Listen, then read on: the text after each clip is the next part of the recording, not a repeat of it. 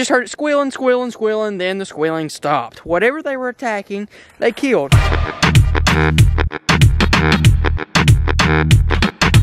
Good, Gray Gang? We're here. Listen, it is trapping season, and that's exactly what we're going to do. We're going to set some traps today. Now, our priority is going to be coons. That is what we're going to be targeting. We have a couple different types of traps. One, we have a dog proof. I'm going to let Bingo film. How you doing, Bingo? He's kind of still asleep. He woke up like three minutes ago. The first trap we're going to be coon trapping with is a live trap. This is probably kind of probably the most popular, but it's pretty simple. You, you put food in the back, and then they walk in and they get caught. But here's how it really works. So you lift open this door, and you latch the door with this this little bar right here, and the bar also connects to a pan back here. See that little pan, and then back up some bingo, and whenever something comes back here, steps on it,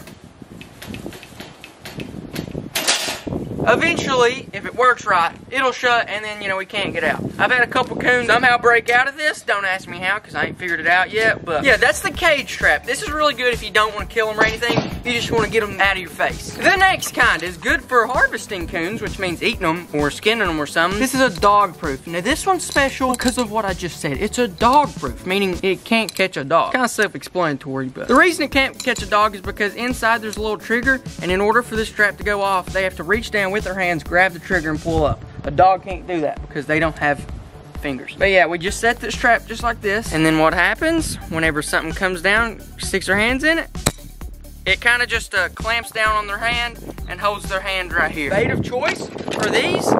Well, I'll tell you that here in a minute. Let's go. All right, Bingo, you ready for this? Let's get it. The trap and the track on wheels have been upgraded to the Defender. Watch out for the chickens.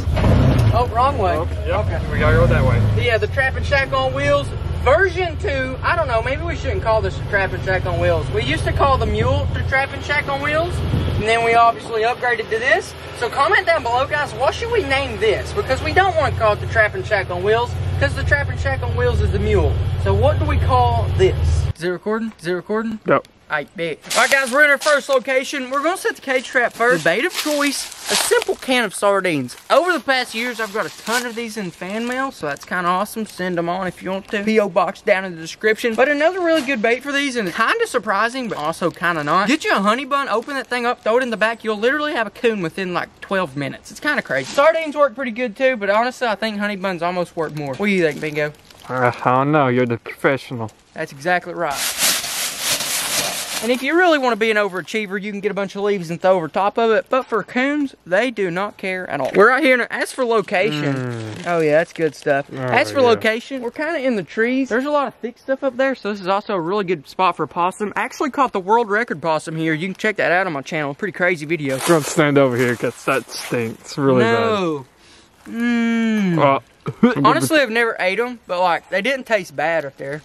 Kindle stuff.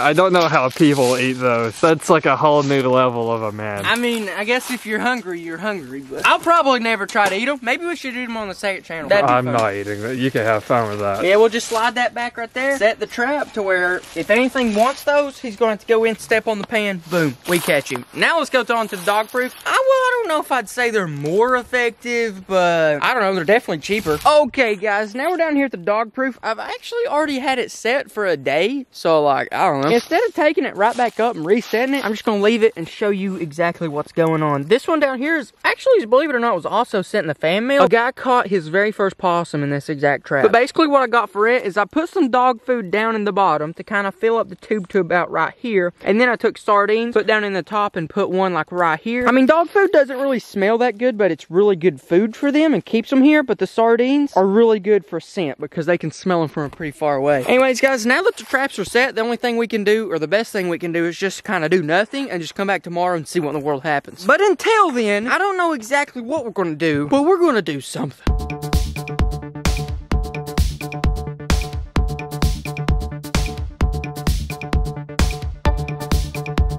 That's about the same size as the world record possum we caught. That is epic. We're putting that right there beside the maple syrup. From Samuel. I'm so horrible with names. Marlea?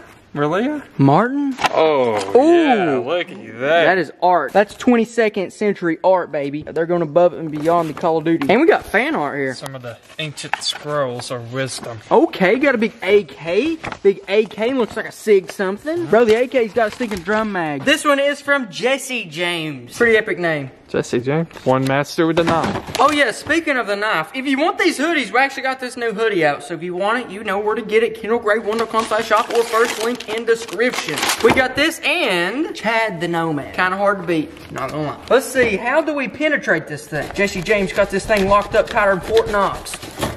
Okay, we got Ooh, some. okay, here we got some pellets. We got three of them. I mean, three's better than none, I guess. Then we got a dog bone for Steve or Lucky. Oh, that's Lucky. Then we got some BB, another big bone. That one's for Peanut, and this one's probably for Sheba. Oh, but none for Steve. Poor Steve. Just by looking at that, can you guess what it is? I'm pretty sure I know. Uh, 243, and I'm correct. Oh, here's a knife. We're gonna open the next one with this one. And the next one coming from Carter Millstead, all the way from Mississippi or Missouri. I don't really know which one this is. No, dude, we got a grenade. That's like a paintball Oh grenade. Oh my gosh.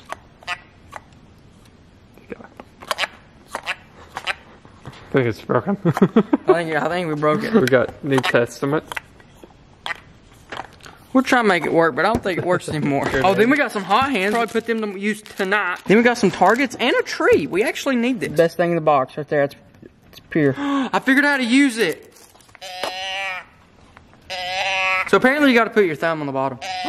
Yeah, sorry guys. It takes me and Kendall a bit to catch on to stuff. For all you guys that have sent mail, thank you for sending mail. If you want to send me some mail to open it up on the second channel, down in the description, somewhere down there is the P.O. box. And as for now, me and Bingo's just going to quit for a little while and come back tomorrow. Hopefully we'll have a coon. I think we do have a pretty good chance.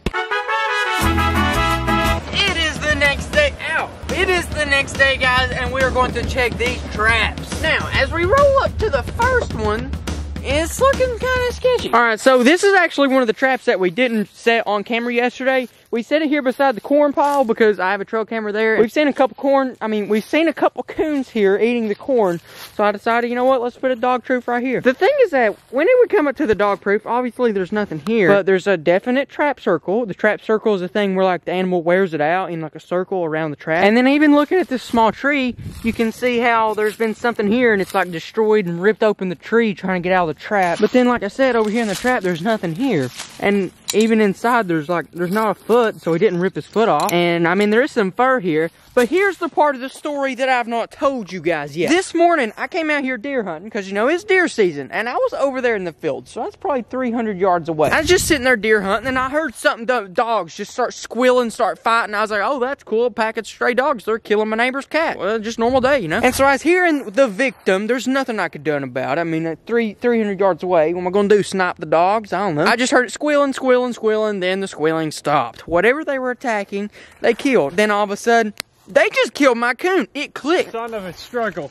The sardines are gone.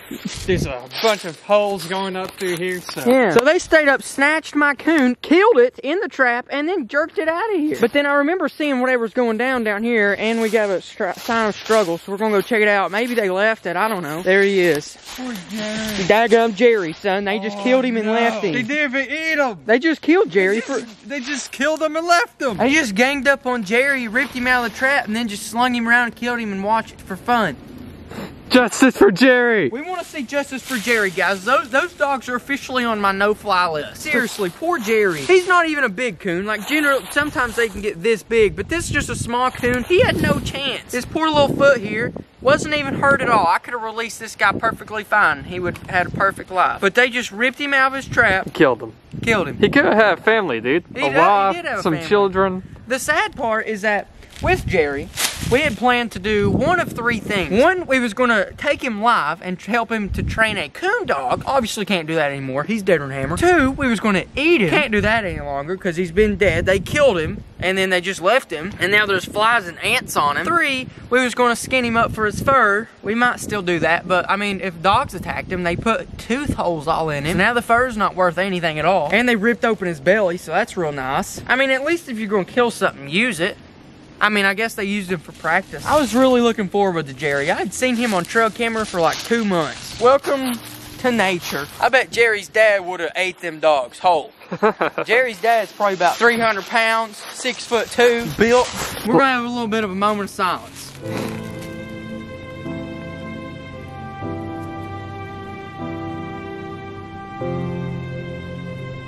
All right, that's enough. Should we give it a funeral? I think we kind of should give it a funeral. Okay, guys, we're out here today.